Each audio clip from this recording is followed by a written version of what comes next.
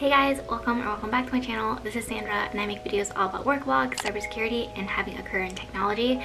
And if this video was helpful to you, please give it a thumbs up so more people can find it through the YouTube algorithm. So today we're going to be discussing a highly requested video from you guys, which is interview prep for cybersecurity jobs and this is definitely a big topic especially when I was interviewing, graduating college, and looking for entry-level cybersecurity roles. So I kind of split this into the more technical side of cybersecurity questions and topics as well as the more behavioral interviews where you're kind of just answering questions about walkthroughs, scenarios, and just basic behavioral tell me about yourself questions. And I also have timestamps all over the video so you can definitely jump around depending on what topics that you already know. Okay, so from my experience interviewing for cybersecurity roles, a lot of it comes down to questions that are easy to ask and unfortunately a lot of the questions are either you know it or you don't. Because if someone asks you like what port is HTTPS. That's something you know or you don't know. You know, it's not something that you can like BS around or try to like talk around. And that's what makes cybersecurity interviews a bit harder, especially because I come from a coding background where you're kind of able to solve a problem using multiple different scenarios. Like even if you don't know how to use hash maps,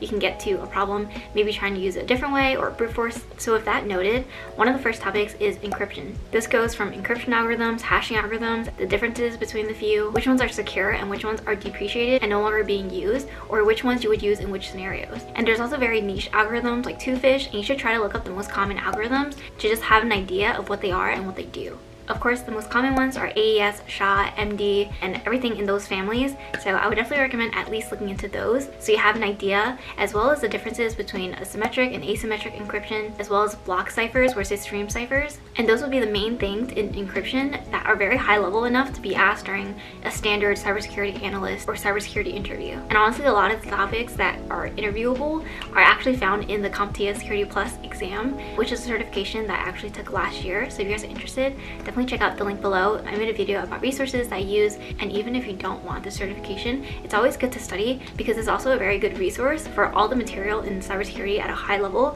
that you can study just for interviews. Okay, so the next thing is security protocols and port numbers. So in my first interview for a cybersecurity role, um, it was actually for a cybersecurity internship, I was given a quiz that literally asked me things like, what is the port number for this?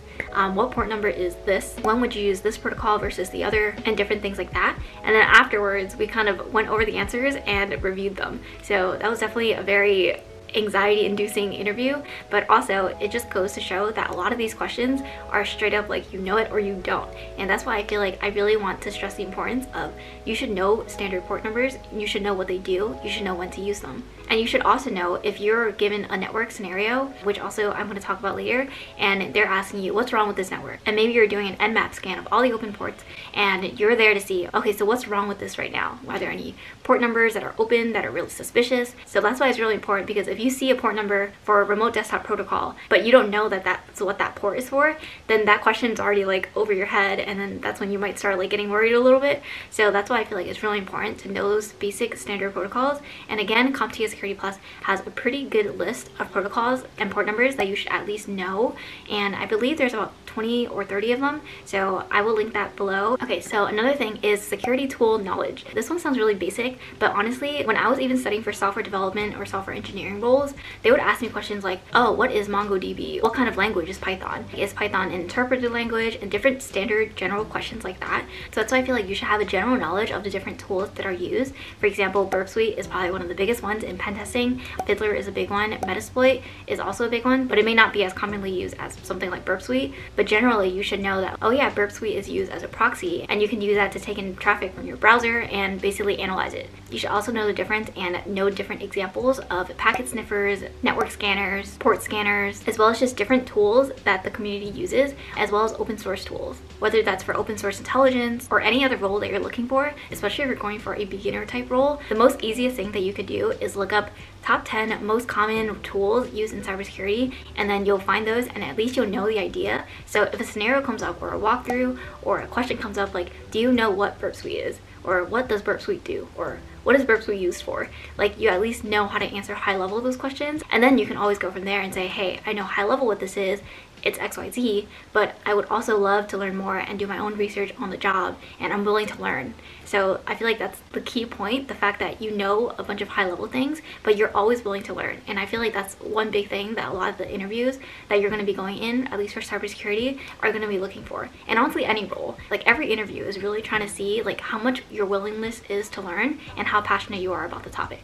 So that's why I feel like those are really important, especially for entry level roles. Okay, so the next thing is the CIA concepts. And the CIA triad or the CIA triangle is kind of like the really basic foundation of cybersecurity Alright, this looks weird, but and it's basically confidentiality, integrity, and availability. These are the three pillars of cybersecurity. Confidentiality, of course, is just making sure that outsiders don't know your information. They don't know any confidential info. Integrity is can we make sure that no one is changing this information without our permission or only the right people are changing this information and how can we trust this information and making sure that it's you know as accurate as possible and then availability is the last pillar which a lot of people don't know is actually a really super important part of cybersecurity because availability talks about DDoS attacks talks about being able to keep your applications online for users to use because that in itself is a cybersecurity attack if someone brings down your network and your customers are no longer able to access your website that is an attack on availability. And if you worked at any company for any amount of time, you know that availability costs a lot of money. All the downtime that your company has, especially on an application that might be widely used by clients,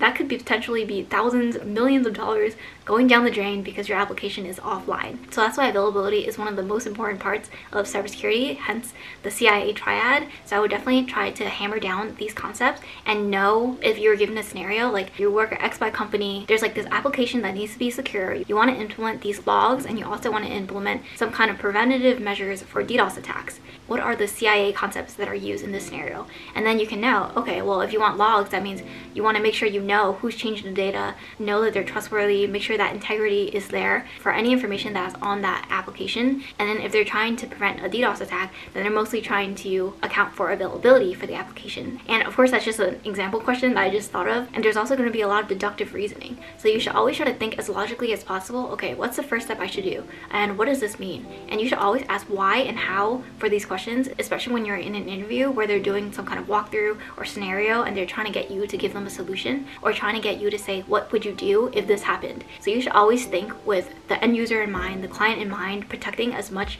of the customers or the clients or the company's assets as possible, which leads me pretty well into the cyber kill chain. And this is something that one of my red team mentors says is really, really important. And honestly, I never thought about this before I actually got into cybersecurity. Even when I was studying for interviews, I didn't really think about this. But this was originally used as a military term that basically talks about the structure of an attack. And I can include some kind of diagram on the screen that can potentially help, as well as links below if you guys are interested in learning more. But this is one of the most important things that pen testers and red teamers and ethical hackers think about because this is basically the anatomy of an attack from the time when an attacker identifies a target to deciding how they can attack a vulnerability that the target might have, exploiting the target, controlling the target, and then basically reach command and control. So you want to keep in mind these concepts and try to understand potentially if you're given a scenario for this attack happened, where in the cyber kill chain is this, um, how can we stop it, and different things like that. So you always want to keep that in mind, especially when you're going for a pen testing role or some kind of ethical hacking role.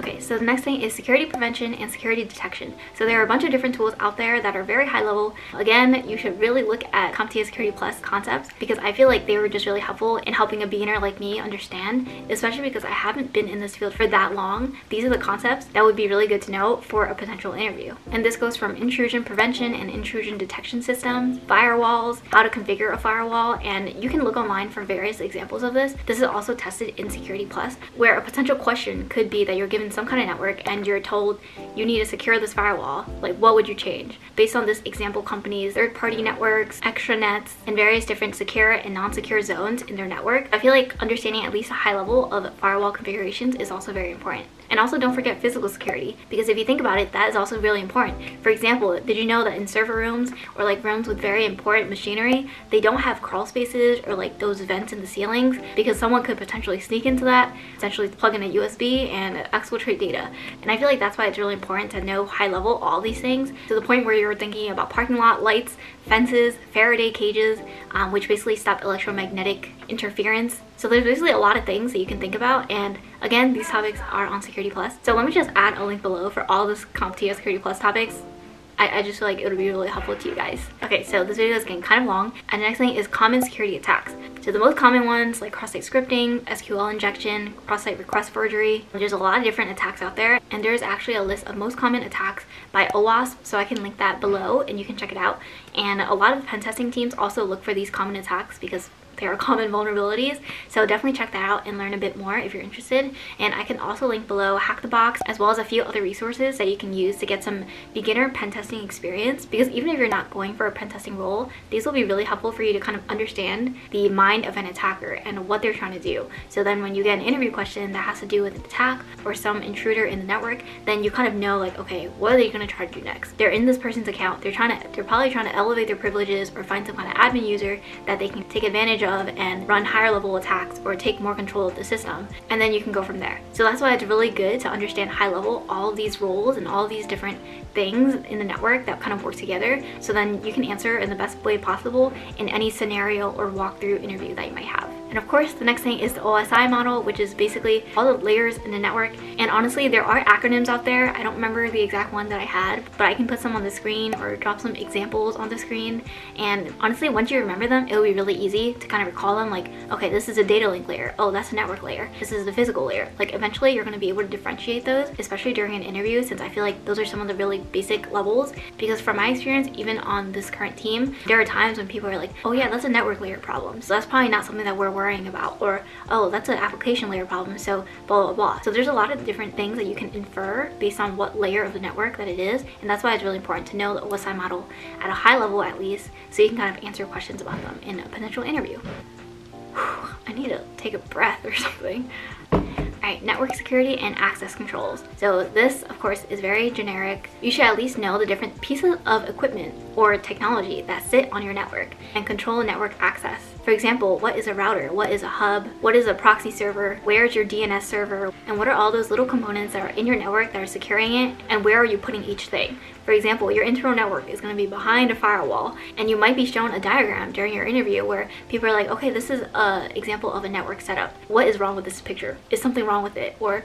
what would you do to improve it? So there's a lot of questions that could go into that. And of course, that's another reason why it's really important to know like, hey, oh, it's a DNS server. I know what that does. Or like, oh, why isn't there a firewall between the internal network and the extranet? Which also goes into basic cybersecurity concepts like a honeypot or a honeynet, which are basically bait networks that companies set up to kind of make attackers think that they got into the real network and they can also analyze what attackers are doing to learn more about how they're attacking and different things that they're trying to do or different things that they're actually looking for. And the next thing is phishing attacks.